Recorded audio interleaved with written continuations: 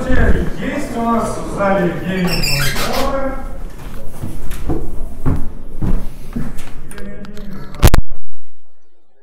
Че, никто не делает игры?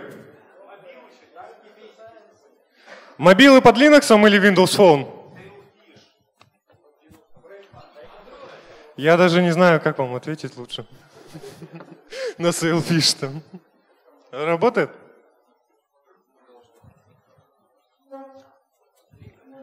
Сейчас дойдем. Так, э, давайте для того, чтобы я осознавал, э, насколько у меня стенд прошел, кто играл на Малине у меня? Три человека, не поверю, больше было. Ой, еще потянулись руки.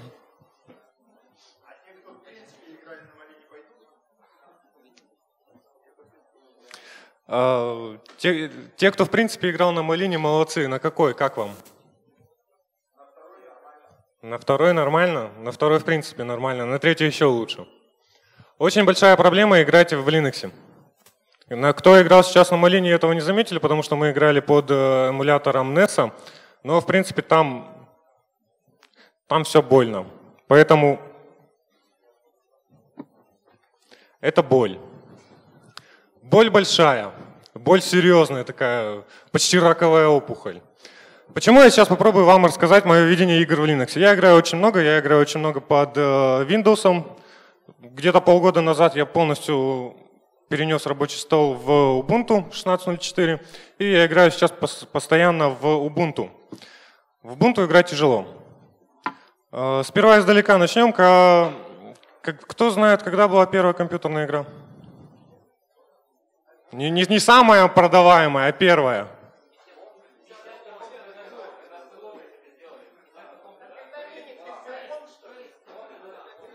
Space War была вторая, первая была крестики-нолики. Да. Она была сделана, вот эта вот игра, а почему у меня, а она у меня без названия, ладно. Она была сделана на еще EDSAC, это был английский mainframe. Вторая была, да, э, Space War, она была на PDP-1.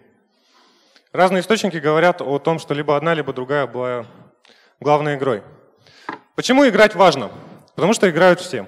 Играют многие. Почему у Android огромные продажи? Потому что для него очень много игр. Почему у iOS продажи не меньше? Потому что там игр еще больше. Игры, правда, однообразные, но это уже глупость. Почему не взлетает Windows Phone? Для него нет нормальных игр. Если мы хотим Linux поднять, надо делать игры. Поэтому я и начал с того, что если тут гейм-девелоперы, их оказывается нет. Кому я опять буду рассказывать? Вот так выглядит стандартная игры в Ubuntu. Нравится? Мне нравится здесь только сапер. Он более-менее соответствует сегодняшнему стилю, который там флет, и у Google свой этот графический дизайн и так далее. В косынку играть нереально. Та косынка, которая на Windows 7, она просто, просто как Запорожец с Porsche вот это вот. И они обновляются очень редко. Даже здесь проблема в Ubuntu не в том, что игры плохие. Проблема в том, что магазин приложений никакой. Вот это описание шахмат. Здесь нет скриншота. Здесь нет отзыва. Здесь ничего нет. Отзывов нет. Это оценки. Вот у, у шахмат отзыва нет. Круто, мне понравилось, прошел три раза. Да, или так, кому как больше нравится. Уже показатель. Сравните с тем, что делает Steam. Сравните с тем, что делает Valve в Steam. Как они поменяли систему рекомендаций в этом году, за что их проклинают. Это круто в Steam. Вот с этим это не сравнится никогда. И пока вот этот магазин будет стоять, игр не будет.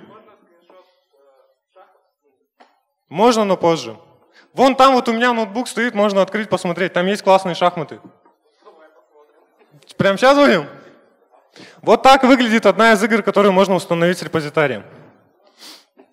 Я даже не знаю, это все-таки 3D или 2D. Да, вы понимаете, о чем я. Сравните с Need for. Хрен с ним с Need for. Сравните даже с, э, я не знаю, драйвером. Думаете? По мне нет, абсолютно. Я пробовал в это играть, нереально. Надоело. Вот так вот выглядят порты с платных игр. То, о чем говорил предыдущий спикер об играх. Это свободная реализация Моровинда. Она по графике не сильно отошла от оригинального Моровинда, которому на секунду почти 10 лет или около того. Но в нее можно играть. Мне не нравится. Есть, не спорю, она крутая, но мне лично Morrowind не нравится. Мне больше Oblivion. Skyrim тоже не зашел. Вот так выглядит 0 ад. Очень прикольная стратегия. Вот в нее, да, я играл. Она, ну, мне просто Crusader Kings понравилась, поэтому 0 ад я играл, играл много. Она развивается, она, правда, в альфе уже с момента создания несколько сот лет, но не суть. Она прикольная. Но у нее графика точно такая же, как у того же Crusader, который вышел в 97 году. OpenTTD. Самая любимая игра, сами знаете кого. Мистера Y. А, она тоже не отличается графикой. Совсем. Там графика и не нужна, но согласитесь, можно нарисовать те же самые поезда в 3D. Освежить. Просто освежить. Нагрузим процессоры. Ну, значит, дизайнеров в Linux нету.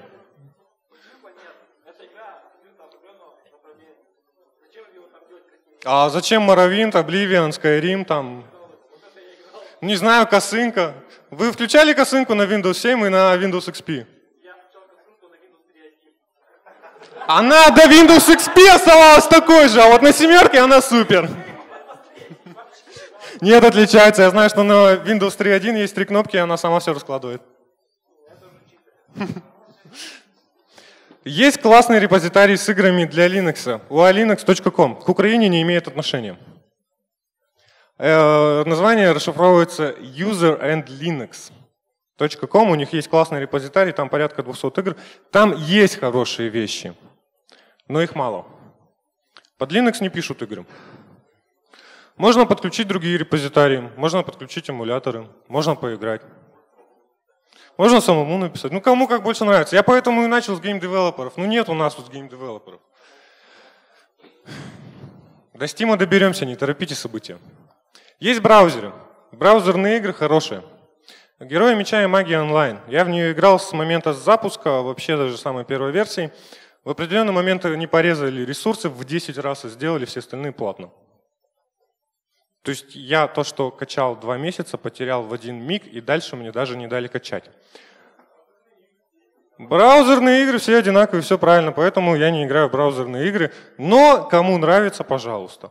Да, можно найти в браузерах что-то прикольное. В свое время были флеши, которые работали в браузере, типа там на макромедии еще, когда она была. Это была тема. Это были 90-е, начало нулевых. На секундочку, за окном почти 2017.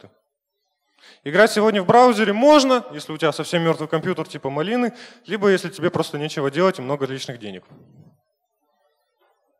Есть эмуляторы. Эмуляторы спасают.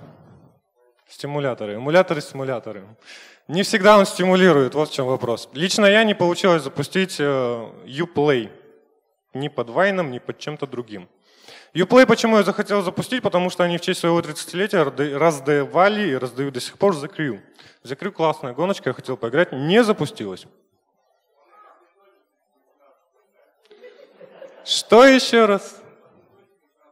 Uplay? Он просто обновляется через день. Но запускается. Я в Assassin's Creed играл через Uplay замечательно.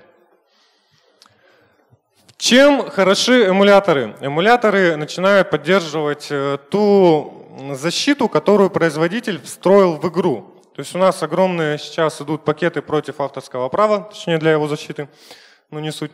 И они должны работать в большинстве своем под Windows. Под Linux они работают очень тяжело, если вообще существуют. Поэтому спасают только стимуляторы, которые не работают. Которые не настраиваются. Работают, но не настраиваются. Мой любимый Steam. Это мой скриншот. Это я. Кому интересно. Где? В ОС. В Linux 52. Для сравнения, в Windows 252, считая две бесплатные. Я не играю. Если вы видите, здесь установлено 4 игры. Кстати, 4 игры. Вот шахматы есть, они вот немножко, вот они, Simple Chess, их видно здесь. А повыше есть две прикольные игрушки, они называются InMind и InCell, их разработали в Навале, и это уже виртуальная реальность. Виртуальная реальность – это следующий шаг. Я хочу призвать к чему? Товарищи линуксоиды, виртуальная реальность начинается, давайте здесь разрабатывать. InMind и InCell – отличные игры от Навала, в них можно играть. Они занимают несколько секунд, буквально там InMind была пройдена за 4 минуты. Просто едешь и стреляешь. Убиваешь какие-то раковые опухоли в мозге или что, я не знаю уже. Фигня абсолютно. Вы, поверите, вы не поверите, в телефоне то же самое. В Окулусе то же самое. Я сегодня был в телефоне, в айфоне, и месяца два я проводил в Окулусе. Там то же самое. Там нет принципа. Там вопрос в графике. Если есть графика, за этим пойдут. Там принцип э, американские горки по большинству. Почти везде. Либо качели.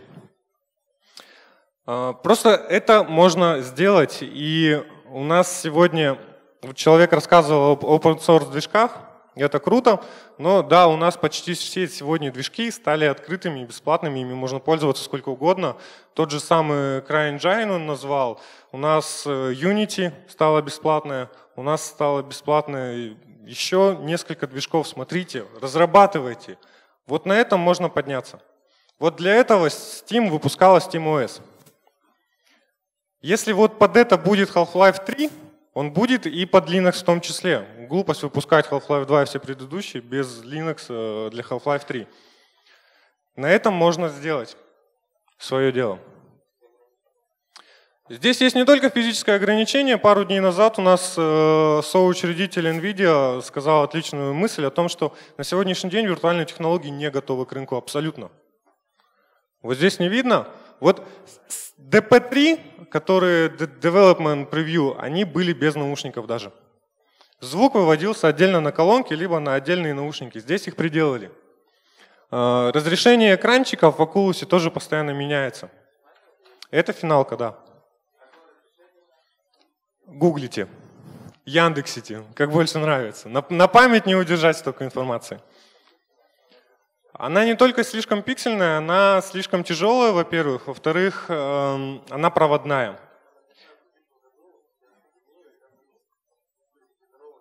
А в чем, в чем резон-то? Они были, но от них толку никакого. Сейчас они потихоньку взлетают, потому что постоянно количество пользователей того же Vive растет, несмотря на его стоимость. Те же самые GR, VR в Samsung, они продаются. А дорого это до скольки? Я сегодня смотрел, Fitbit стоит 6,5 тысяч. Под телефон 5-5,5. Вот так. Ну,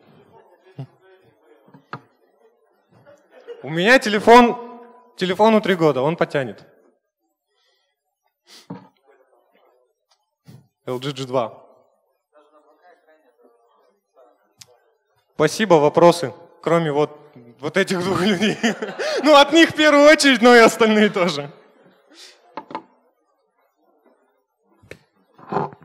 Этот тоже работает.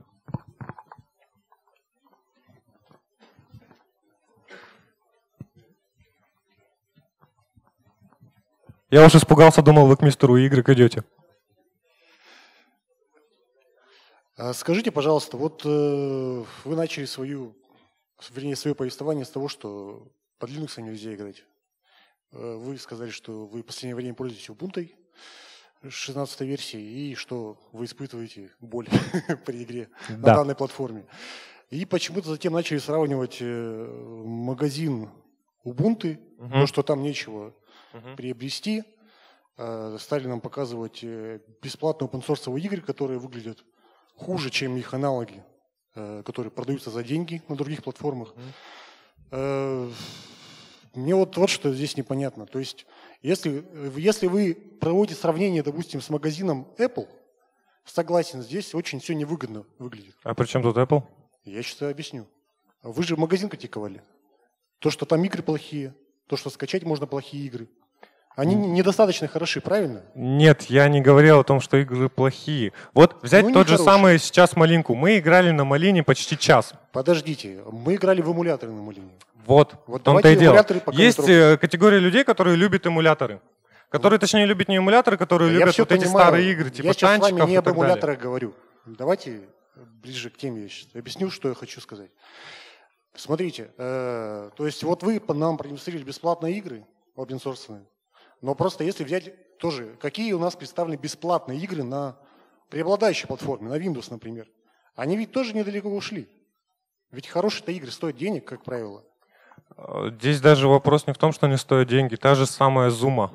Но мне непонятно, в чем боль-то у вас все-таки выразилась. Вы поиграли в какие-то не очень хорошие для вас бесплатные игры и сделали вывод, что...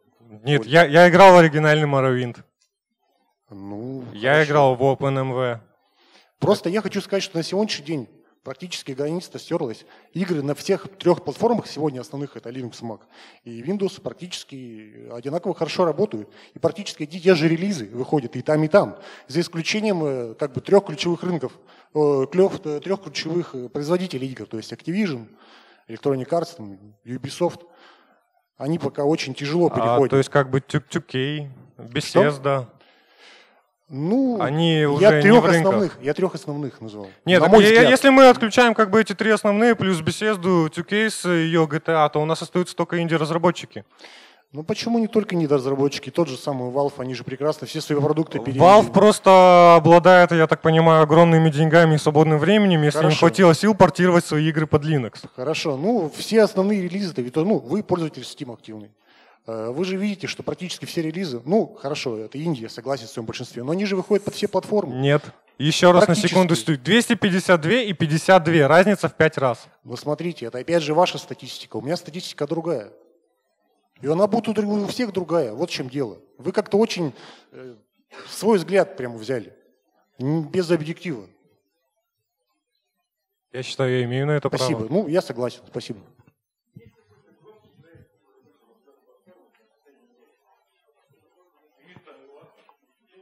Так, подождите, подождите, у кого вопрос?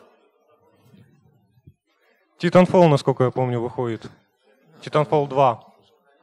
Насколько А я вот помню, сейчас э, м, в новостях мелькает, что вышел Vulkan API, и вот он как раз э, предоставит возможность э, делать игры сразу под все платформы, включая Linux, там не до FreeBSD. Вот. Э, Что можете сказать по этому поводу? Вот как вы считаете, это даст нужный толчок, чтобы перешли? Э, Я еще раз сделаю шаг назад к предыдущему спикеру про игры и скажу, напомню слова э, Джона Кармака, который сказал о том, что он зря это сделал, потому что толку никакого.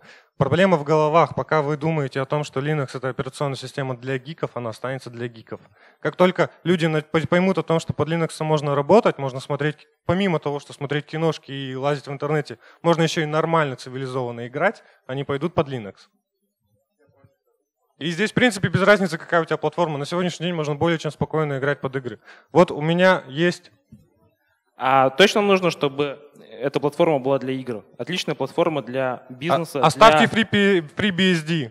Вот у вас выйдут в 6 часов, расскажут про стоп, FreeBSD, стоп, стоп. оставьте его для FreeBSD гиков. это FreeBSD, это все Unix После. FreeBSD оставьте для гиков Sun. После этого Arch.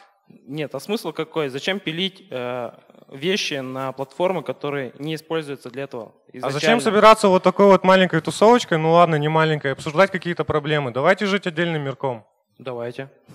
Договорились. Но при этом Linux э, очень хорошо подходит для бизнес-целей, а для игр он подходит немножко хуже. Нет. Пока что. Я считаю, играть можно хоть где.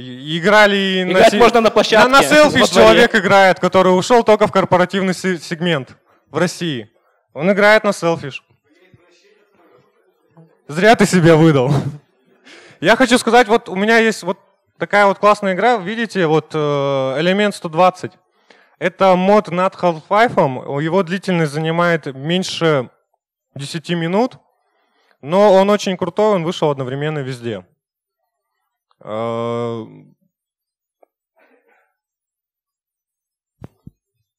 В это можно играть. Вот Но так он надо вышел делать. везде, получается, и на Windows, и, И на он вышел и на Windows и на Android. Linux, и он не зависел от вулкана, он не зависел ни от чего. Есть движок Source, на движке Source сделана хорошая игра. Короткая, но действительно хорошая игра. Вопрос желаний. Есть Crytek, который открытый. Можно взять тот же самый Half-Life сегодня, ой, Half-Life, извиняюсь, э, Far Cry сегодня, на- начать его писать еще раз, выпустить под Linux, выпустить э, Far Cry 4 под Linux и радоваться жизни. Это очень большое время больше, чем деньги. Да. Вопрос в том, чтобы изначально вот именно начинать э, разрабатывать под все популярные, как минимум, или доступные операционные системы, вне зависимости от технологий.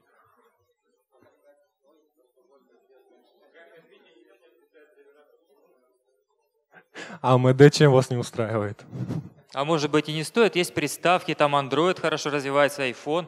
Зачем вот для Linux вот это все А делать? вот вы у Дмитрия Бачила спросите, когда, когда упали к продаже компьютеров, начали расти приставки, упали приставки, начали расти компьютеры. Это все рынок, он очень странно движется. Вот он об этом знает, он об этом рассказывал не раз. Кстати, те, те же самые э, PlayStation 3, они у нас тоже под вариантом Linux работали, насколько я помню. Давайте программировать Опа. для FreeBSD. Вот, кстати, почему, да, PS4 работает под FreeBSD, и там очень много игр, а на десктопном FreeBSD игр нету.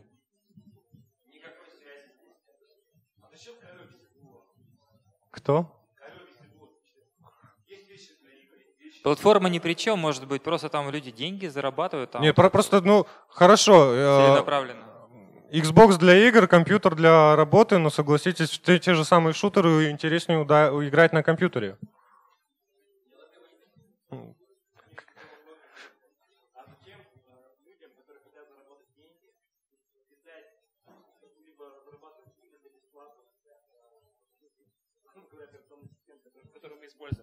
У нас сейчас тема разговора какая?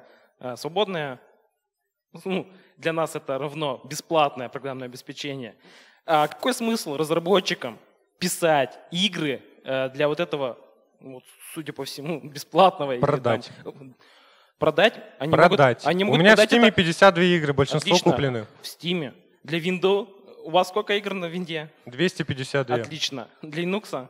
Где будет 52. продаваться ПО больше? Вопрос, неправильно вы вопрос ставите. Вот с этого и начинается проблема. Вы ставите вопрос, где будет продаваться игр больше, а я говорю, где будет разрабатываться игры больше и, соответственно, Э, продаваться. Хорошо, д- возьмем тогда вопрос другой. А Сколько у нас из э, наших доблестных пользователей использует свободное программное обеспечение? Ну, ну, же самое Ubuntu, к примеру.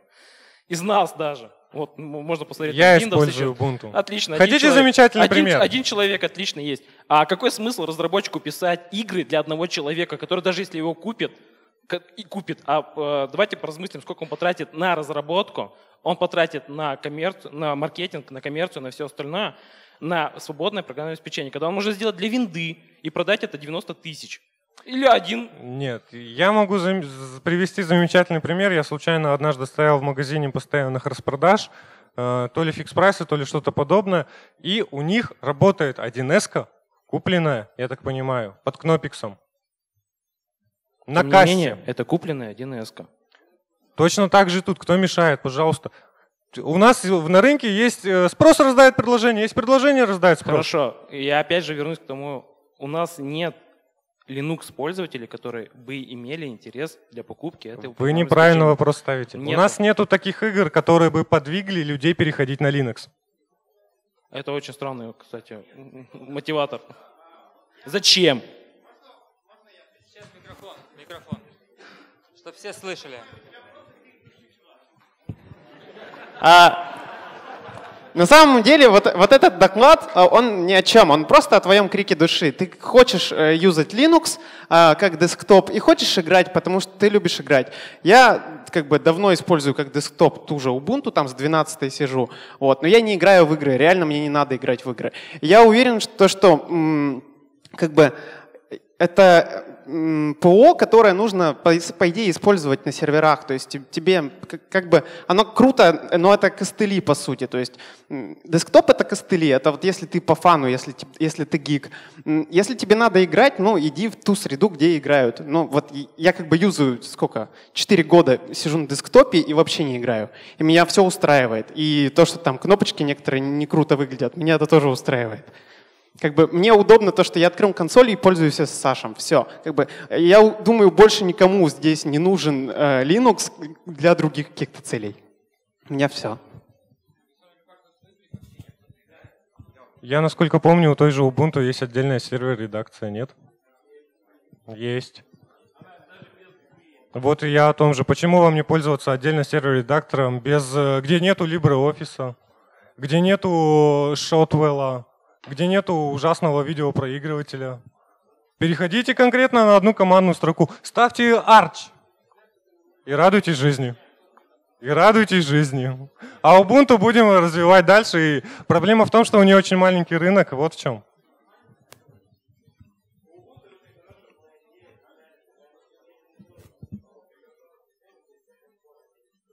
Настя, да, да, да, да, да, да, да. Но, но 32 миллиона оказалось слишком много.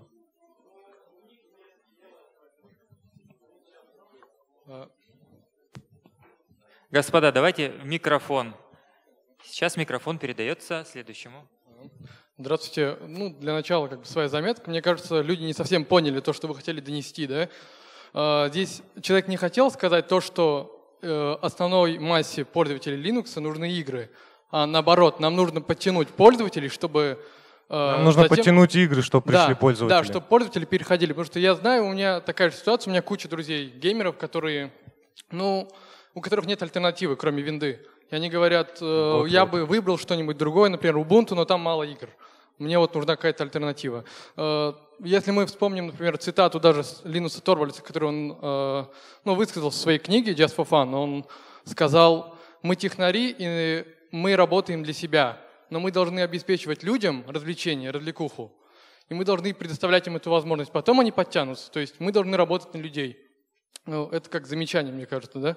А мой вопрос был в том, вы вообще считаете, что это рационально использовать столько ресурсов, чтобы переключить огромное количество разработчиков, чтобы подтягивать уровень, э, скажем, на открытом программном обеспе- обеспечении, да, до проприетарного. И, ну, то есть подтягивать и тратить столько ресурсов, чтобы просто догнать и вывести на один уровень, нежели оставить все как есть. То есть что-то для своей сферы, а что-то для своей. То есть развлекуха в одну сторону, а работа в другую. То есть вы считаете это рационально? Я считаю, здесь не надо подтягивать, здесь надо изначально просто правильно немножко делать. То есть если разрабатывается какая-то ААА-игра, которая будет э, взлетать одно- однозначно, неважно, это Battlefield, Call of Duty, Half-Life, Assassin's Creed или Need for Speed, так давайте ее сделаем под все три, под все три платформы сразу же. Текстуры перерисовывать не надо, это огромное количество времени на текстурах. Этого не надо делать. Надо просто обеспечить поддержку. Сейчас, там, там. По- Подождите, подождите. Давайте микрофон. А зачем Linux вообще игры? Linux сам по себе игра. Конструктор для взрослых бородатых мальчиков. Я предлагаю поаплодировать вот этому человеку. Я больше скажу, мало того, что Ubuntu это игра, Wine это отдельная игра в игре. И, кстати, по Вайну. Вайн это не эмулятор, это альтернатива Play on Linux это эмулятор. Пир. Я знаю.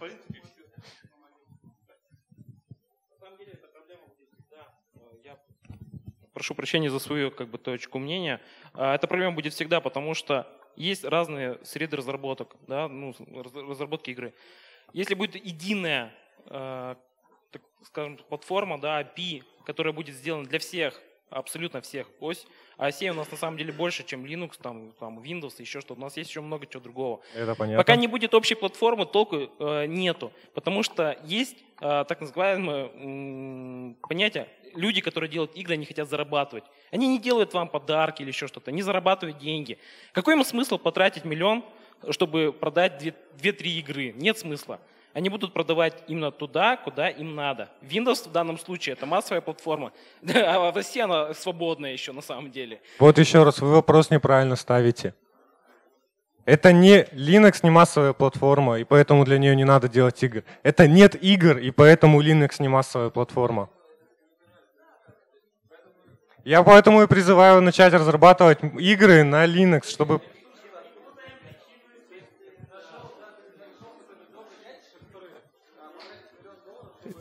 Гейб Ньюэлл. Гейб Ньюэлл, он уже это сделал. Half-Life 2.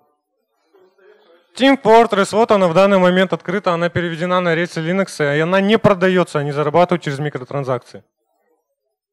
Она летит. Она работает на Linux чуть лучше, чем на Windows. Для кого? Э, Они на Steam зарабатывают больше, чем на играх. В принципе, на самом. Поэтому они вынесли Steam на Linux в том числе. Они сделали SteamOS. Ну, осталось подключить разработчиков, которые будут разрабатывать под SteamOS, и получим игры и у нас. Как-то не летят. Сколько там лет SteamOS уже? Три, четыре, пять? А вот такой вопрос, э, уже тезис был озвучен, что ну, немножко некорректно сравнивать игры, которые есть в репозиториях, Ubuntu, там, UA, Linux, и игры даже, которые есть Steam. У нас же тема как называется? Свободное программное обеспечение. А есть какая-то статистика по СПО в винде в играх, которые есть, и по СПО в той же Linux? Мне кажется, они там примерно одинаковые.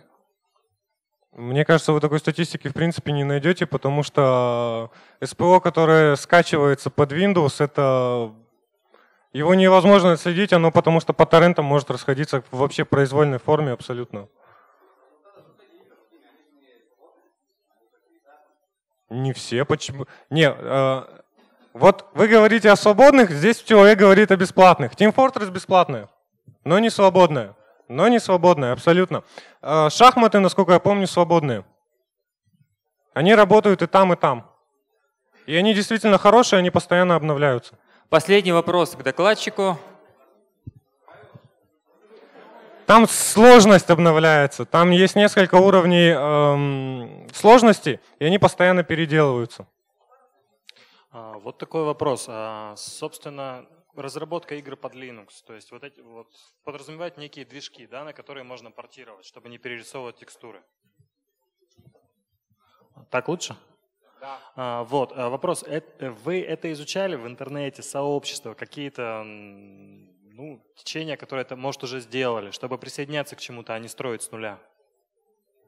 Э, я еще раз на секундочку напомню, на сегодняшний день основные движки сделали бесплатными и свободными. CryEngine, Unity, Bethesda, они открыли свои движки достаточно просто разрабатывать. Для этого не надо что-то где-то изучать, читать. Если вы разрабатываете на CryEngine под Windows, так допилите уже в Linux, -то. это не займет много времени.